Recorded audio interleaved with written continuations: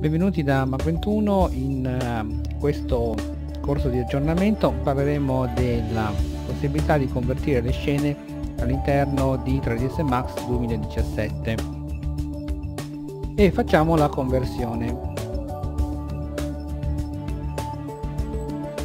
Che cosa succede con questo tipo di conversione? Andiamo a vedere. Trovi a disposizione possiamo fare il nostro render preview e andare a cambiare quelle che sono le, queste tipologie di impostazioni. Queste impostazioni le tiene quindi le ombre, i meditoni eccetera non questi tipi di materiali che sono presenti all'interno hanno dei colori un po' particolari perché hanno una, una patina satinata. Ed eh, se, se ho la necessità di tornare indietro quindi backup open